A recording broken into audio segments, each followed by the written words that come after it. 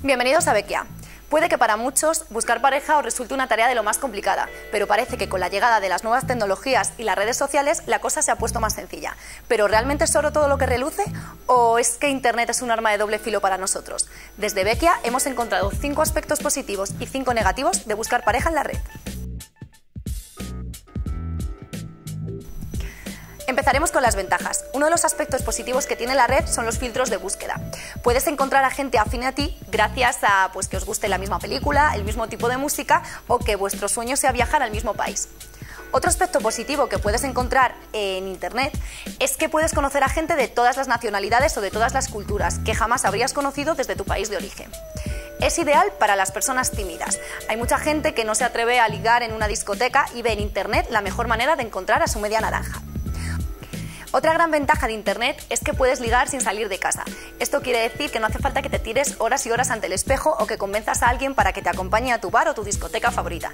Desde la comodidad del salón de tu casa y desde tu silla puede que encuentres al hombre o la mujer de tus sueños.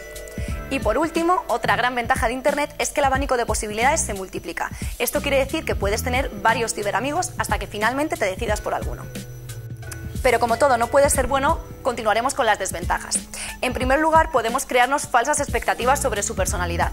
Esto quiere decir que la persona con la que hablemos pues, nos oculte su manera de ser o su manera de actuar y finalmente cuando le conozcamos no tiene nada que ver con lo que nos ha dicho.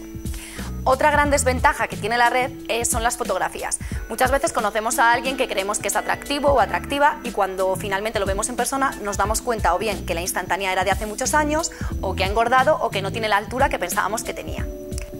Otro de los grandes inconvenientes que tiene ligar por la red es que muchas veces contactamos con personas que no tienen resuelto su pasado o su presente. Esto quiere decir que podemos hablar con gente que a lo mejor se acaba de divorciar o que ni siquiera está separado o que simplemente está atravesando una crisis de pareja.